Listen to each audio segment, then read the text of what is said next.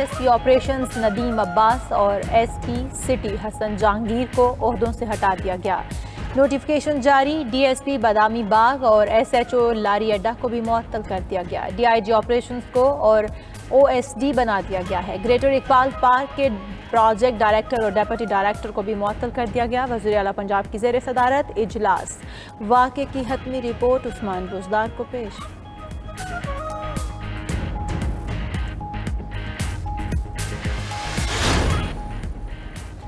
जो बाइडन इंतजामिया तालिबान के काबुल पर कब्जे से आगाह थी, अमरीकी जरीदे वॉल स्ट्रीट जर्नल का दावा अपनी रिपोर्ट में लिखा, तालिबान के कब्जे से एक माह कबल सिफारतकारों ने वज़ीर खारजा बलिंकन एंटोनी को मेमू लिखा था। तहरीरी पैगाम में तालिबान के अफगान इलाकों पर तेज़ी से काबिज होने का बताया गया। मेमू में अमरीकी महकमा खारजा को तालिबान के खिलाफ सख्त रद्दमल तजवीज़ किया गया।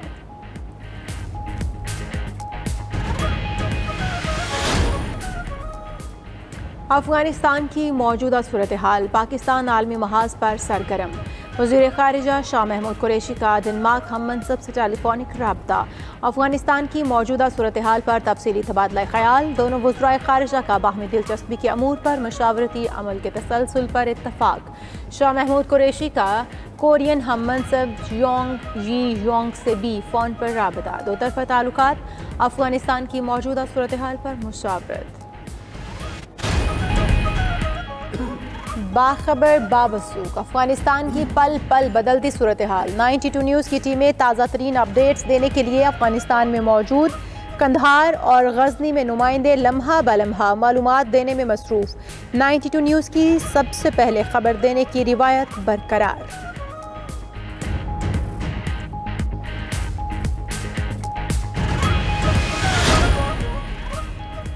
वज़ीर अजम की जेर सदारत अफ़गानिस्तान में सहाफ़ियों के इनखला से मुतलक इजलास। वज़ीर इतलात फवाद चौधरी वजी ममलिकत फरुख हबीब सेक्रटरी इतलात और दीगर की शिरकत। वज़ीर अजम को अफ़गानिस्तान में मौजूद सहाफ़ियों के इनखला के हवाले से इकदाम से मुतलिक ब्रीफिंग, गैर मुल्की सहाफ़ियों की पाकिस्तान आमद और वीज़ा सहूलत पर भी हुकाम की ब्रीफिंग।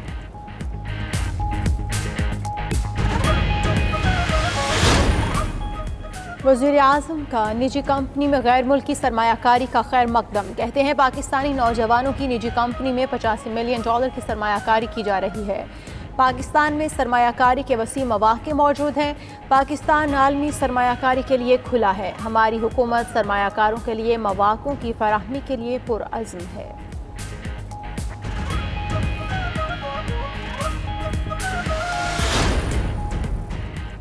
एफ़ बी आर की जानब से किसी को हिरासा नहीं किया जाएगा। वज़ीर खजाना शौकत तरीन की ताजरों और सरमाकारों को यकीन दहानी, कराची चैम्बर ऑफ़ कॉमर्स से खिताब में कहा, टैक्स जमा न कराने वालों के खिलाफ कार्रवाई करेंगे।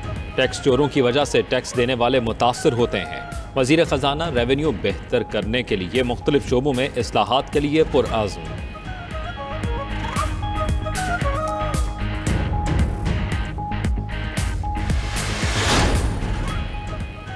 विफाकी हुकूमत का मुल्की और आलमी मुबसरीन से इलेक्ट्रॉनिक वोटिंग मशीन का मुआयना कराने का फैसला। वजारत साइंस की फाफन और पलदात को खत लिखकर ई वी एम के मुआयने की दरख्वास्त, कहा इलेक्ट्रॉनिक वोटिंग मशीन पर ब्रीफिंग देना चाहते हैं।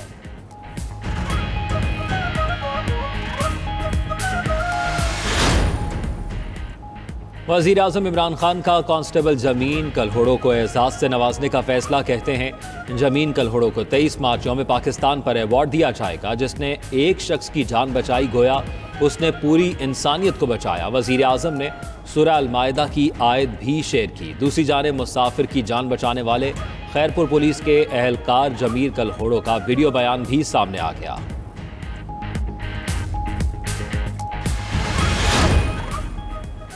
पीटीआई हुकूमत के चौथे साल में काम का पहला दिन। वज़ीर आज़म आज कोई भूखा ना सोए प्रोग्राम में वसत का ऐलान करेंगे।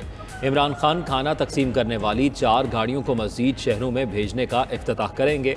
वज़ीर अजम हुकूमत के तीन साल मुकम्मल होने पर आइंदा हफ़्ते तकरीब से खिताब भी करेंगे।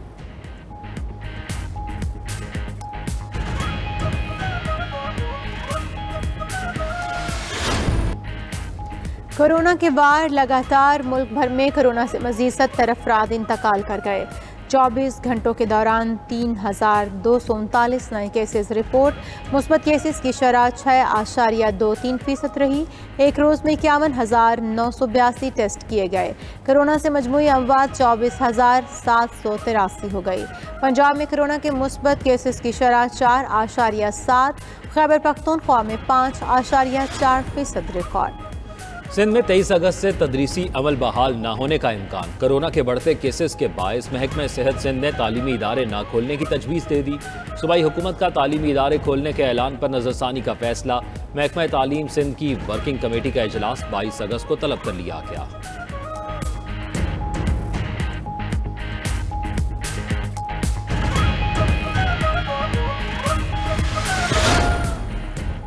मंजूर वस्तान के खिलाफ आमदन से जायद असासे बनाने का केस, सिंध हाई कोर्ट ने पीपल्स पार्टी रहनुमा की अबूरी जमानत में चार अक्टूबर तक तोसी कर दी। अदालत ने नैब से आइंदा इकदाम पर पेशरफ रिपोर्ट मांग ली।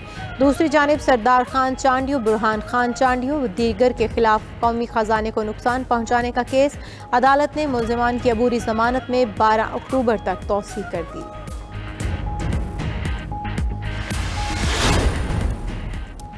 पाकिस्तान और वेस्ट इंडीज के दरमियान सीरीज़ का दूसरा टेस्ट आज शुरू होगा। खेल पाकिस्तानी वक्त के मुताबिक रात आठ बजे शुरू होगा। पाकिस्तानी टीम में यासिर शाह की जगह नुमान अली की शमूलियत का इम्कान। पहला टेस्ट मेज़बान वेस्ट इंडीज़ ने सनसनी खेज मुकाबले के बाद जीता। कौमी टेस्ट टीम के नायब कप्तान मोहम्मद रिजवान दूसरे टेस्ट में जीत के लिए पुरज़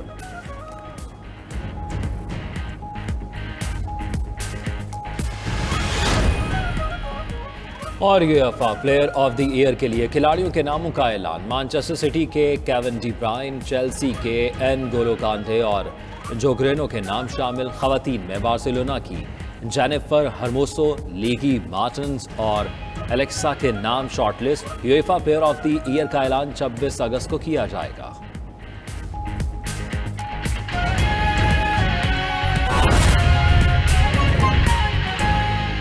खैर पख्तनख्वा में काबीना नामुकम्मल। कई अहम महकमे वज़ीर के बगैर एक वज़ीर को चार माह में भी किसी महकमे का कलमदान न मिल सका। दूसरी जानब बाज गुजरा के पास एक से जायद महकमों के कलमदान भी हैं। सूबे की इंतजामी सूरत हाल पर बात करने के लिए पेशावर से हमारे नुमाइंदे इरफान मुसाजई होलोग्राम टेक्नोलॉजी के ज़रिए लाहौर स्टूडियोज में हमारे साथ मौजूद हैं। जी, बताइएगा, इस वक्त काबीना की क्या सूरत हाल है और क्यों मुकम्मल नहीं की गए वजरा क्यों मुकम्मल नहीं किए गए?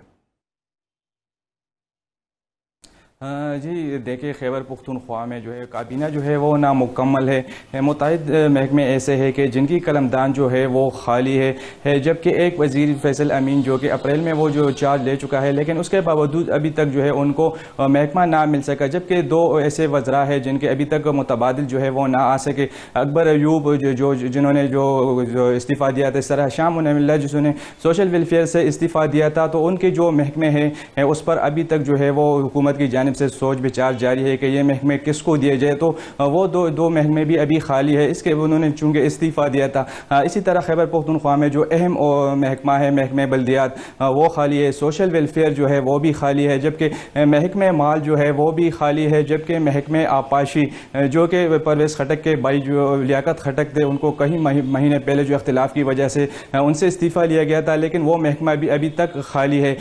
अभी तक किसी गुजरा के वो ये महकमे सुबुर्द ना हो सके जबकि खैबर पुख्तनख्वा में बाज़ ऐसे भी वजरा है जिनके पास जो है वो एक से जायद जो महकमे है। लेकिन उसके बावजूद हम देख रहे हैं कि कई चूँकि अकबर अयूब के पास जो थे वो तीन महकमे थे।